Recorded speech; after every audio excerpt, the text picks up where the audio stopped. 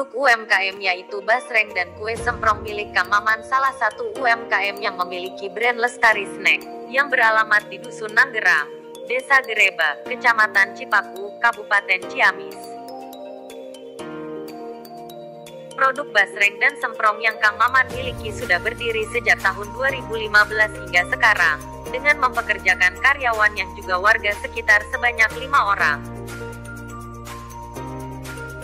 Kang Maman sendiri menyatakan, sejak adanya pandemi melanda yang sampai saat ini belum selesai sangat berdampak pada kapasitas produksi menjadi menurun. Kang Maman berharap, untuk menyambut di tahun 2021 nanti, roda perekonomian segera normal kembali, sehingga dapat meningkatkan kapasitas produksinya sendiri.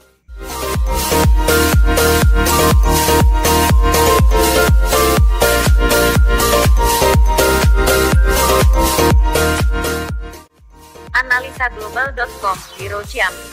Yayat Hidayat dan Agus Suryana melaporkan.